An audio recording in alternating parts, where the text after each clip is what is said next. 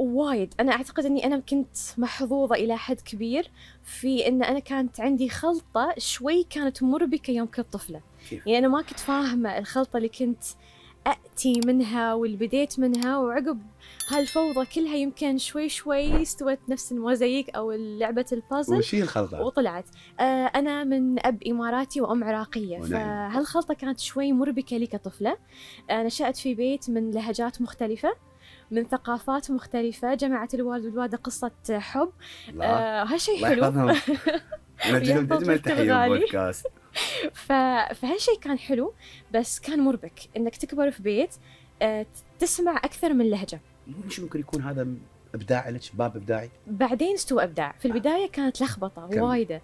أول ما دشيت المدرسة كانت اللهجة عندي خلطة. يعني خلطة من اللهجة العراقية على على الإماراتية حتى على الثقافة. يعني مع أن ال- الشعب العراقي مقارب للشعب الإماراتي في الكثير من ثقافته لكن المطبخ مختلف آه وايد شيء عادات مختلفة. فكانت تستوي مواقف طريفة من بينهم آه واحد يحتاج إنه يتعرف ويتعود. دشيت المدرسة صديقاتي كانوا من مختلف الجنسيات بعد. إحنا عندنا هالشيء بعد في الإمارات. الحمد لله. يعني الحمد لله إنك يوم تكبر تتعرض للكثير من الحضارات والثقافات. يمكن هالشيء مو متوفر وايد في دول ثانية. يمكن أكثر من 200 جنسية عندنا؟ ما شاء الله. تتعرف عليهم كلها في كي جي 2 أول ما تجي المدرسة تتعرف على صدقيني ما نبهتيني على نقطة جميلة ودي إني أستعرضها في بودكاست اللي هو حلو. لكثره الجنسيات اللي تعيش معنا هل تفتح باب الثقافات الأخرى أيضا جدا. ككاتبة؟ جدا. آه، ما يكون عندك وايد آه، إحساس بالغرابة.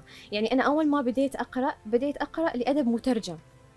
اللي هو الأسماء غريبة الأسماء أوروبية أجنبية ليش أسماء المناطق. المترجم؟ بخبر قصة غريبة. أنا إحنا ما كان عندنا مكتبة في البيت.